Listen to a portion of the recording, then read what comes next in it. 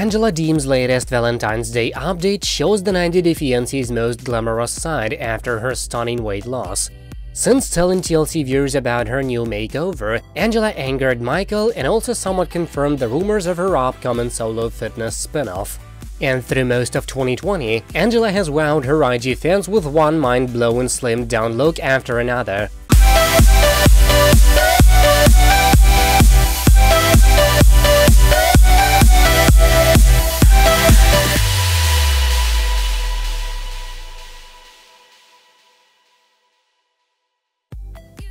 One 90 Day Fiancé star who's never been shy of sharing her plastic surgery photos is Angela Deem.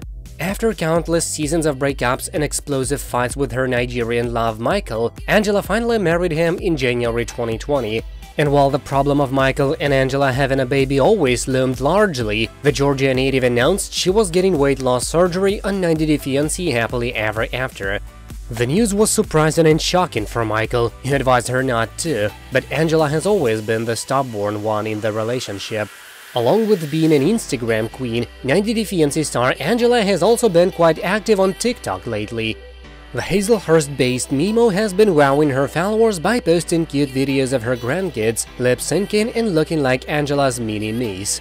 In her recent TikTok shared by Angie to her Instagram stories, reposted by 90 Day Fiancé fanatics too, she showed off Valentine's Day presents sent to her by her sister Jojo Disney.